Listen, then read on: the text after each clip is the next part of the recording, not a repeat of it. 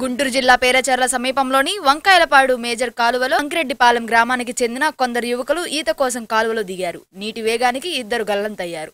వారిలో ఒకరిని స్థానికులు వెంటనే కాపాడగలిగారు. రెండో వ్యక్తి కోసం గాలింపు చర్యలు చేపట్టగా సాయంత్రం అతడి మృతదేహం లభ్యమైంది. మృతుడిని అంకిరెడ్డిపాలెం గ్రామానికి చెందిన గుర్రబశాల వెంకట సుధీర్గా గుర్తించారు.